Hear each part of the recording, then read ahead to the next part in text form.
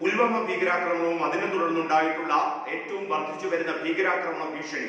ഇന്ത്യയിൽ ഇന്ത്യ മുഴുവൻ ജാഗരൂകമാവുകയാണ്. ഏതു തരത്തിലാണ് ഈ കാര്യങ്ങൾ പോകുക എന്നുള്ളത് സൂക്ഷ്മ നിരീക്ഷണത്തിലാണ്. ആ സൂക്ഷ്മ നിരീക്ഷണത്തിലേക്ക് വരുമ്പോൾ സൈനിക രഹസ്യാന്വേഷണ ഏജൻസി മാത്രമല്ല ഇന്ത്യയുടെ വിവിധ പ്രത്യക്ഷത്തിലും പരോക്ഷമായും പ്രവർത്തിക്കുന്ന എല്ലാ രഹസ്യാന്വേഷണ ഏജൻസികളും കൂർമ്മ ബുദ്ധിയോടുകൂടി സൂക്ഷ്മ ബുദ്ധിയോടുകൂടി കാര്യങ്ങൾ നിർവഹിക്കുമ്പോൾ കേരളം ആ സൂക്ഷ്മ നിരീക്ഷണത്തിലേക്ക് വരികയാണ്. പ്രത്യക്ഷത്തിൽ എൻ ഐ എ കേരളത്തിന്റെ കേരളത്തിലേക്ക് സൂക്ഷ്മ നിരീക്ഷണത്തിലേക്ക് വരുന്നത് എൻ ഐ ആണ്. എൻ ഐ എയുടെ ഇന്റലിജൻസ് സംവിധാനങ്ങൾ. അവർ വളരെ സൂക്ഷ്മമായി വളരെ കൃത്യമായി അവർക്ക് കിട്ടുന്ന ഇൻഫർമേഷൻസ് ആ ഇൻഫർമേഷൻസ് അവർ പിന്തുടരുമ്പോൾ ആ നിരീക്ഷണങ്ങൾ അവർ പിന്തുടരുമ്പോൾ അതിന്റെ രഹസ്യാന്വേഷണം നടക്കുമ്പോൾ കേരളത്തിന്റെ മലബാർ ഏരിയ പ്രത്യേകിച്ചും കിഴക്കൻ മലബാർ മലപ്പുറവും കണ്ണൂരും കോഴിക്കോടും ഉൾപ്പെടുന്ന കിഴക്കൻ മലബാർ പ്രദേശങ്ങളിൽ വലിയ തോതിലുള്ള മതപരമായ തീവ്രവാദികളുടെ കൂട്ട് താവളമായി ഈ പ്രദേശങ്ങൾ മാറുന്നുണ്ടെന്ന് എൻ ഐ എയുടെ പുതിയ കാര്യം പുതിയ രീതികൾ വരുന്നുണ്ട്. പ്രത്യേകിച്ചും നമ്മൾ അതിർത്തി കടന്നുള്ള ഭീകരവാദത്തെയും അതിർത്തി കടന്നുള്ള ഇത്തരത്തിലുള്ള അരാജകത്വവും ഒക്കെ സൃഷ്ടിക്കുമ്പോൾ അത് പാകിസ്ഥാനും കശ്മീരും അതോടൊപ്പം തന്നെ പാകിസ്ഥാൻ അതിർത്തി ഇന്ത്യയിലെ പാകിസ്ഥാൻ അതിർത്തി സംസ്ഥാനങ്ങളും എന്നുള്ളതാണ്. പക്ഷേ ആ കേരളവും പോലെ കേരളം പോലെ അതുമായി യാതൊരു ബന്ധവും ഇല്ലാത്ത കേരളത്തിന്റെ ഇടങ്ങൾ ഏറ്റവും ഭയപ്പെടുന്ന തരത്തിലേക്ക് ഈ അവസ്ഥകൾ മാറുന്നു. പ്രത്യേകിച്ചും ദക്ഷിണേന്ത്യയിൽ. അത് എൻ ഐ എ എന്തുകൊണ്ട് അത്തരത്തിലൊരു സൂക്ഷ്മ നിരീക്ഷണം നടത്തുന്നു? എൻ ഐ എ എന്തുകൊണ്ട് അത്തരത്തിലൊരു രഹസ്യ നിരീക്ഷണം നടത്തുന്നു എന്നുള്ളത് വളരെ കൃത്യമായി പറയുന്നത് ദക്ഷിണേന്ത്യയിൽ ഉണ്ടാകുന്ന ഒറ്റപ്പെട്ടതെന്ന് തോന്നിക്കുന്ന പല അക്രമങ്ങളും. അത് അത് അതിന്റെ പിന്നിൽ ചില ശക്തികൾ ചില ഛിദ്ര ശക്തികൾ ചില ഐ എസ് മായി ബന്ധമുള്ള ബന്ധമുള്ള അല്ലെങ്കിൽ മത തീവ്ര നിലപാടുള്ളവരുടെയൊക്കെ സാന്നിധ്യം അവരുടെ കൂട്ടായ്മയൊക്കെ അക്കാര്യത്തിൽ വളർന്ന് വികസിക്കുന്നു. അതിന്റെ ഒരു ഹബ്ബായി കേരളം മാറാനുള്ള സാധ്യതയാണ് ഇപ്പോൾ എൻ ഐ എ കാണുന്നത്. സാധ്യത എന്നുള്ളതല്ല എൻ ഐ എ പറയുന്നത്. വളരെ കൃത്യമായ എവിഡൻസ് തെളിവുകൾ തന്നെ എൻ ഐ പക്കലുണ്ട്. അതിൽ എൻ ഐ എ സ്പെസിഫൈ ചെയ്യുന്നത് രഹസ്യാന്വേഷണ വിഭാഗം സ്പെസിഫൈ ചെയ്യുന്നത് കിഴക്കൻ മലബാറാണ്. കിഴക്കൻ മലബാർ എന്ന് പറയുമ്പോൾ അവിടുത്തെ വന മേഖലകൾ അതോടൊപ്പം തന്നെ ഗ്രാമ ഉൾഗ്രാമ പ്രദേശങ്ങൾ ഉൾഗ്രാമ പ്രദേശങ്ങൾ ജില്ലകൾ സ്പെസിഫൈ ചെയ്യുമ്പോൾ കണ്ണൂർ കാസർഗോഡ് കോഴിക്കോട് മലപ്പുറം വയനാട്. കണ്ണൂർ കാസർഗോഡ് കാസർഗോഡ് കണ്ണൂർ കാസർഗോഡ് വയനാട് മലപ്പുറം കോഴിക്കോട്. ഇത്രയും ജില്ലകളിലെ വന അതിർത്തികളും അതോടൊപ്പം തന്നെ ഉൾഭാഗത്തെ ഗ്രാമപ്രദേശങ്ങളിലേക്കും ഉണ്ടാകുന്ന ചില മാറ്റങ്ങൾ എൻ ഐ എക്ക് വളരെ സൂചനകൾ ലഭിക്കുമ്പോൾ അവിടെ കൃത്യമാകുന്നത് ആ, സംഘടനകളുമായും വ്യക്തികളുമായും ബന്ധപ്പെട്ട് കൃത്യമാകുന്നത് ദമാജ് സലഫീസ് എന്ന ഗ്രൂപ്പ് എന്ന ഗ്രൂപ്പിന്റെ അല്ലെങ്കിൽ ആ ഒരു ഐഡിയോളജിയുടെ പ്രസക്തി കേരളത്തിൽ വർദ്ധിച്ചു വരുന്നു എന്നുള്ളതാണ്.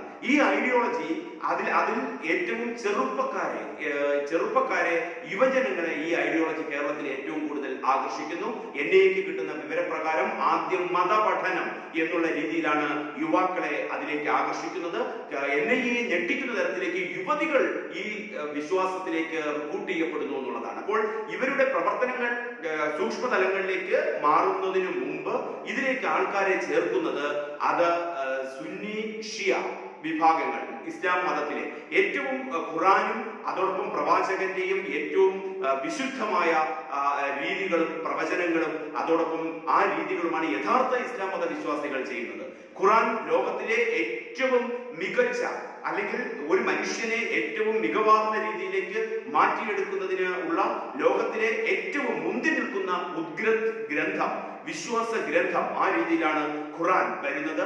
ഉത്തമമായ ഇസ്ലാമിക വീക്ഷണമുള്ളവരൊക്കെ ഇത്തരം സംഘടനകളിലേക്ക് ഒരിക്കലും ഇത്തരം സംഘടനകളിലേക്ക് ഒരിക്കലും പോകാറില്ല. അപ്പോൾ ആ ആ ഇസ്ലാമിൽ വരുന്ന ഏറ്റവും വിശുദ്ധരായിട്ടുള്ള ഇസ്ലാമിസ്റ്റുകൾ ഖുറാൻ വിശ്വസിക്കുന്നവർ പ്രവാചകൻ പ്രവാചകനെ വിശ്വസിക്കുന്നവർ അവരൊക്കെ ഉത്കൃഷ്ടമായ ഉത്കൃഷ്ടമായ വിശ്വാസികളാണ്. അവരൊരിക്കലും വിധ്വംസക പ്രവർത്തനങ്ങളിലേക്കോ മറ്റോ പോകുന്നില്ല. അവർ എല്ലാ സാഹോദര്യത്തിലും സമത്വത്തിലും സഹവർത്തിത്വത്തിലും ഏറ്റവും അധികം വിശ്വസിക്കുകയും ഇതര മതസ്ഥരോടും ഇതര വിഭാഗങ്ങളോടും ഇതര വ്യക്തികളോടും ഒക്കെ സൗഹാർദ്ദപൂർവം ജീവിക്കാൻ ആഗ്രഹിക്കുന്നവരാണ് യഥാർത്ഥ ഇസ്ലാമിസ്റ്റുകൾ. പക്ഷേ ചെറുപ്പത്തിലെ ഈ വിഭാഗത്തിലെ തീവ്രവാദ സംഘടനകൾ ആൾക്കാരെ മാറ്റിയെടുക്കുന്നു. അത് ഐഡിയോളജിക്കലായ ഹിപ്നോട്ടിസവും ഐഡിയോളജിക്കൽ ഹൈജാക്കിങ്ങും എന്നുള്ള തരത്തിലാണ് കാര്യങ്ങൾ വരുന്നത്. അതിലിപ്പോൾ കേരളത്തിൽ വർദ്ധിച്ചു വരുന്നത് സുന്നിക്കും ഷിയാക്കും ബദൽ സൃഷ്ടിച്ചുകൊണ്ട് അതൊക്കെ തെറ്റാണ് എന്ന് പറഞ്ഞു പഠിപ്പിച്ചുകൊണ്ട് പുതിയൊരു ഐഡിയോളജി പടുത്തുയർത്താൻ ശ്രമിക്കുന്ന ആ ഐഡിയോളജിക്ക് പിന്നിൽ യമനിൽ യമനും ശ്രീലങ്കയുമാണ് അവരുടെ മതപഠന കേന്ദ്ര കേന്ദ്രങ്ങളായി വരുന്നത്.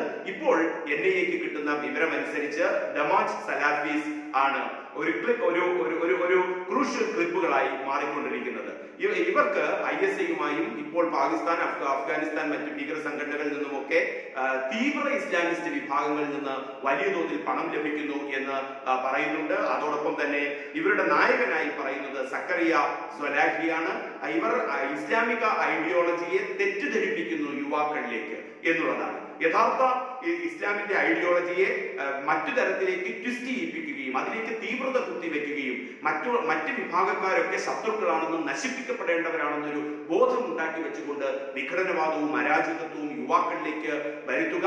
അപ്പോൾ ഷിയ വിഭാഗക്കാരും സുന്നി വിഭാഗക്കാരും അവരുടെ ഇടയിൽ നിന്ന് പിള്ള യുവാക്കളെയും ആൾക്കാരെ അടർത്തി മാറ്റുക. ഈ കേരളത്തിലെ മദ്രസകളിലല്ല ഇത് എൻ ഐ ലഭിക്കുന്ന വിവരം വരുന്നത്. ഇത്തരം ആൾക്കാരെ യമനിലേക്ക് പഠന പഠ- പഠനാർത്ഥം യമനിലേക്ക് കൊണ്ടുപോകുന്നു ശ്രീലങ്കയിലേക്ക് കൊണ്ടുപോകുന്നു. ഇവിടുത്തെ ക്യാമ്പുകളിൽ വെച്ചാണ് മസ്തിഷ്ക പ്രക്ഷാളനം നടക്കുന്നത്. ആ തരത്തിൽ ഈ ആ തരത്തിൽ ഇപ്പോൾ വരുന്നത് ദമാജ് സലാഫീസിന്റെ ആ, ആ വിഭാഗത്തിന്റെ അപകടം കേരളത്തിൽ വർദ്ധിച്ചു വരുന്നുവെന്നും ശ്രീലങ്കയിലും ഇവിടെ നിന്ന് ധാരാളം ആൾക്കാരെ പഠനാർത്ഥം ശ്രീലങ്കയിലേക്കും യമനിലേക്കും കൊണ്ടുപോകുന്നു. ഇത് പെട്ടെന്ന് തിരിച്ചറിയപ്പെടുന്നതല്ല. സംസ്ഥാനത്തിന്റെ ഇന്റലിജൻസ് സംവിധാനങ്ങൾക്ക് ഈ വിവരമുണ്ടെങ്കിലും അവർ അർത്ഥവത്തായി ഇടപെടുന്നില്ല. അവർ ഇതിനെക്കുറിച്ച് പരിശോധിക്കുന്നില്ല. അവർ ഇതിനെക്കുറിച്ച് നടപടിയെടുക്കുന്നില്ല സ്വാഭാവികമായും പ്രത്യക്ഷത്തിൽ തെളിവില്ലാത്തതാണ് കാരണമെന്നാണ് ഈ നമ്മുടെ ആഭ്യന്തര സംവിധാനങ്ങൾ പറയുന്നത്. കാരണം ശ്രീലങ്കയിലേക്ക് പഠിക്കാൻ പോകുന്നു എന്നാണ് യുവാക്കളൊക്കെ പറയുന്നത്. കാസർഗോഡ് നിന്നും കണ്ണൂരിൽ നിന്നും മലപ്പുറത്ത് നിന്നും കോഴിക്കോട് നിന്നും ഒക്കെയുള്ള ആ കിഴക്കൻ മലബാർ പ്രദേശങ്ങളിലെ യുവാക്കൾ പോകുന്നത് പഠനാർത്ഥം അവർ ശ്രീലങ്കയിലേക്ക് പോകുന്നു യമനിലേക്ക് പോകുന്നു. ആർക്കും ഒന്നും ചെയ്യാൻ കഴിയില്ല. പക്ഷേ അവിടെ ചെന്ന് കഴിഞ്ഞതിന് ശേഷം അവരെ മതപഠനശാലകളിലേക്ക് വരികയും മസ്തിഷ്ക പ്രക്ഷാളനം നടക്കുകയും അവർ വഴി അവരുടെ ബന്ധുക്കൾ വഴി കേരളത്തിലേക്ക് കണക്കില്ലാത്ത പണം ഒഴുകുകയും ഈ മറ്റു പ്രദേശങ്ങളിൽ നടക്കുന്ന വിധ്വംസക പ്രവർത്തനങ്ങളുടെ ഒരു ക്രോഡീകരണ ഏരിയയായി ഹബ്ബായി. കേരളത്തിന്റെ കിഴക്കൻ മലബാർ പ്രദേശങ്ങൾ മാറുന്നു. ദക്ഷിണേന്ത്യക്ക് തന്നെ അപകടമെന്നുള്ള രീതിയിലാണ് യുവാക്കളെ വഴിതെറ്റിക്കുന്ന ഈ സംഘടനകളെയും വ്യക്തികളും കർശന നിരീക്ഷണത്തിലാകുമ്പോൾ ഇവർ പറയുന്ന ഐഡിയോളജി ഇവർ ഇവർ സിനിമ കാണാർ. ഒരിക്കലും ഇവർ സിനിമ കാണില്ല. അത്തരത്തിലുള്ള കൾച്ചറൽ ആക്ടിവിറ്റീസിലൊന്നും ഇവർ പങ്കെടുക്കാറില്ല. മറ്റൊന്ന് ഇവർ വോട്ടിംഗ് പാറ്റേണിനെ ഇവർ അംഗീകരിക്കുന്നില്ല. ഇവർ വോട്ട് ചെയ്യാൻ പോകാറില്ല. ഈ ഗ്രാമപ്രദേശങ്ങളിലൊക്കെ അവർ കൃഷി അതായത് വനാതിർത്തിയിൽ വനാതിർത്തിയിലൊക്കെ കൃഷി പ്രദേ- പ്രദേശങ്ങൾ വാങ്ങിക്കൂട്ടുകയും അവിടെ കൃഷി ചെയ്ത് ജീവിക്കുന്നു എന്നുള്ളതാണ് പ്രത്യക്ഷത്തിൽ പറയുന്നത്. കുഞ്ഞു കുഞ്ഞ് വ്യവസായിക യൂണിറ്റുകൾ കുഞ്ഞു കുഞ്ഞ് കാർഷിക വ്യവസായ യൂണിറ്റുകൾ അത്തരത്തിൽ അവരുടേതായ വില്ലേജുകൾ സൃഷ്ടിക്കപ്പെടുന്നു ഈ കിഴക്കൻ മലബാർ പ്രദേശങ്ങളിൽ ഈ ജില്ലകളിലൊക്കെ തന്നെ. അപ്പോൾ ഉൾപ്രദേശങ്ങളിലും വനത്തോട് അതിർത്ത് നിൽക്കുന്നവരും കുറ്റിക്കാടും കാട് പിടിച്ച് കിടക്കുന്നതുമായ പ്രദേശങ്ങൾ സ്വന്തമാക്കുക അവിടെ കൃഷി ഇറക്കുക കുഞ്ഞു കുഞ്ഞു കാർഷിക വ്യവസായ യൂണിറ്റുകൾ തുടങ്ങുക മറ്റ് വ്യവസായ യൂണിറ്റുകൾ തുടങ്ങുക കഴിയുന്നതും പുറം ലോകവുമായി ബന്ധമില്ലാത്ത രീതിയിൽ കുടുംബങ്ങളുടെ യൂണിറ്റുകൾ ഈ പ്രദേശങ്ങളിൽ വളർന്നു വരുന്നു എന്നും എൻ ഐ എ വിലയിരുത്തുന്നു. അങ്ങനെ എൻ ഐ എയുടെ ഇന്റലിജൻസ് സംവിധാനങ്ങൾ വളരെ സൂക്ഷ്മമായി ഈ കിഴക്കൻ മലബാർ പ്രദേശങ്ങളിൽ പുൽവാമ ഭീകരാക്രമണത്തിന് ശേഷമുള്ള സംവിധാനങ്ങളിൽ നിരീക്ഷണത്തിലാണ്. ടവർ ലൊക്കേഷൻ അടക്കം ഇവിടെ നിന്ന് പോകുന്ന ഫോൺ കോളുകൾ അടക്കം എൻ ഐ എയും മറ്റ് നിരീക്ഷ മറ്റ് രഹസ്യാന്വേഷണ ഏജൻസികളും ശക്തമായി നിരീക്ഷിക്കുന്നു.